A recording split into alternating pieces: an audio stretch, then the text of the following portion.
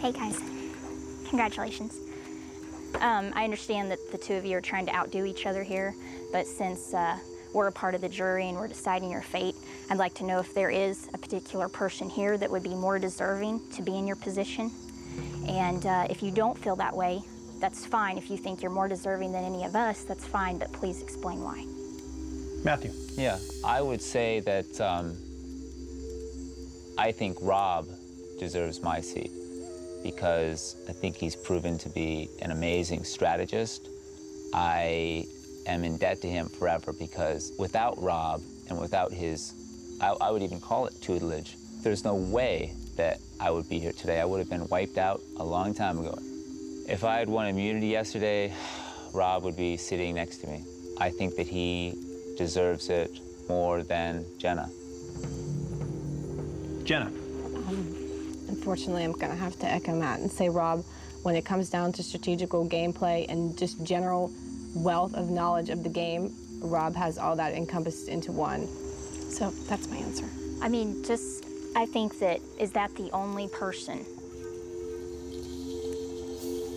I think they covered it. Okay. Yeah. Okay. Thanks, good? Heidi. Uh-huh. Deena. I've been sitting here listening, but as I listened to one of your responses, Jen, I was a little concerned because you said Matt shouldn't be there because he doesn't need the money. Do you honestly think that the way that we should judge our votes is based on need and not the way that the other person played the game? I, think that need should come into it because that's just personally how I would go about voting if I was on the jury. I know everybody's different, but that's personally how I feel I would do it. Okay. And, and Matt, you very boldly and very clearly stated a couple of tribal councils ago, may the best man win, to which I was offended on Jenna's behalf. I don't know if she was offended. I thought that was a load of hooey. And, and it was based on your alliance with Butch and with Robin, with yourself.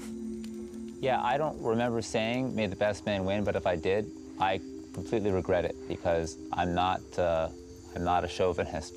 And I'm happy you pointed that out because perhaps it did reflect the fact that I thought we had it all locked up. All right. Thank you. Thanks, Deena. Thanks. Christy.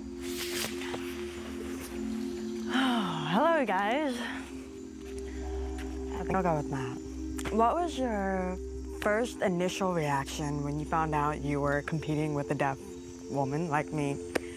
My initial reaction was that you were going to be really just like everyone else. Um, I didn't treat you any differently.